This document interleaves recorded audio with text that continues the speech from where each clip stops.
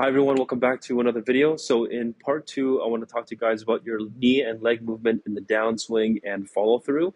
This is another common problem I see with a lot of players, but if you can understand how to do this correctly, it can really help you produce a lot more power and influence your body positions. And if you enjoyed the video, be sure to leave a like. And if you are visiting my channel for the first time, please subscribe to see more golf related content.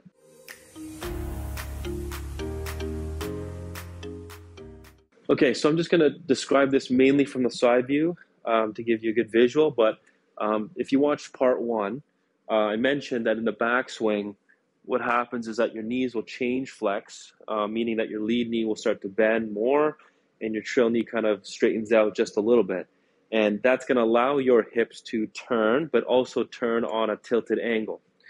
Okay, so now what happens in the downswing is that because you're going to start to turn the opposite direction, your trail knee is going to regain flex and your lead knee is also going to start to straighten out. So it's going to, your knees are going to start to flex kind of in the opposite direction. Okay. Now, approximately by the time the lead arm reaches parallel to the ground uh, in the downswing, your your knees are going to appear like uh, pretty much neutral or back to a neutral position. Okay, but the mistake or the biggest mistake that I'm seeing is that as a person gets closer into impact, they start to overflex that trail knee so that their knee, both knees kind of dig more under them. Okay, and then that causes the hips to kind of tuck more underneath your upper body, and that's going to cause that early extension. Okay, and when a player does that, when they overflex that trail knee and they bend both knees too for too long or too excessively in the downswing, after they hit the shot, both knees are bent. Okay, and then you can see that that right heel comes off the ground quite early and when they when they finish, you can see kind of a, a large gap forming here between the knees.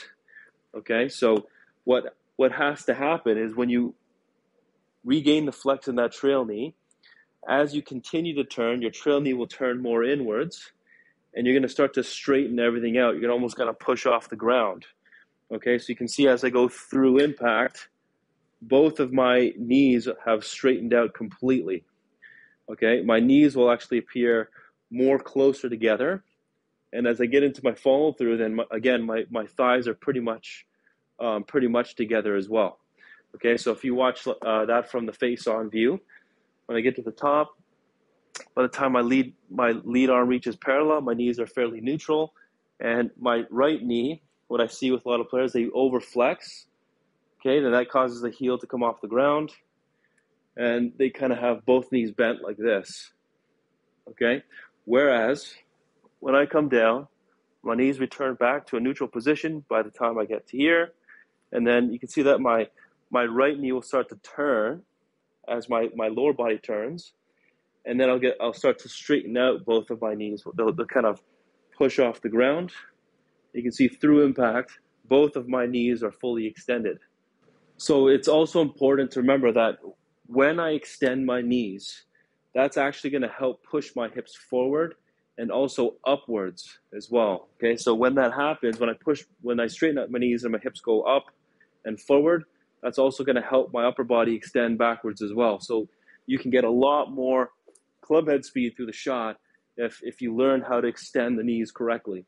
So that they usually miss um, mostly about this internal rotation of the trail knee so you can see that when people overflex their trail knee, their, their, their knee just goes straight forward towards the golf ball, um, where it should appear to or feel as though you're turning your, your right knee kind of more inwards or pointing it more inwards as you come down. So you're coming down, you're regaining the flex, you're turning the knee, and then you're straightening it at the same time.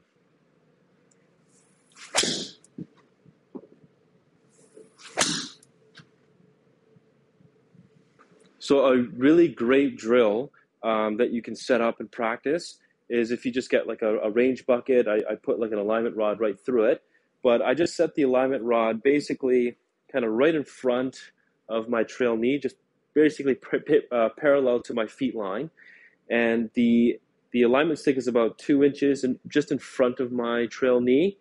And the point of this is when you make your downswing, if you overflex that trail knee, you're, you're going to touch the alignment rod. Or if you film yourself from the side view, you'll find that that that trail knee actually kind of crosses over over top of the uh, of the alignment rod as well. So what you want to do is when you come down, if you are flexing and then turning your knee and then extending, your knee is going to stay within this border. Okay, so it should look something like this.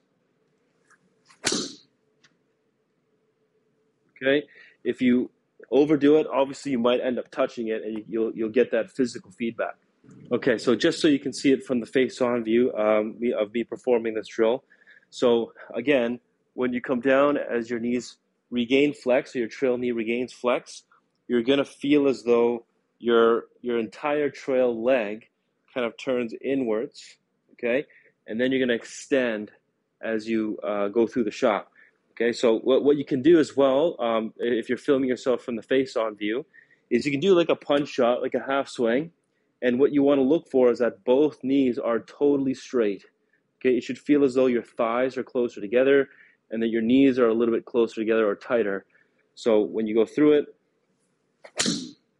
okay, you can see my legs are both totally straight, okay, and my, my knees have stayed within the border of that alignment stick. Thank you guys so much for watching. Now, if you have any questions, you can leave a comment down below. Be sure to follow me on my Instagram at Jonathan K. Moss if you want to inquire about my online lessons. I will also leave a link to my website in the description box below as well.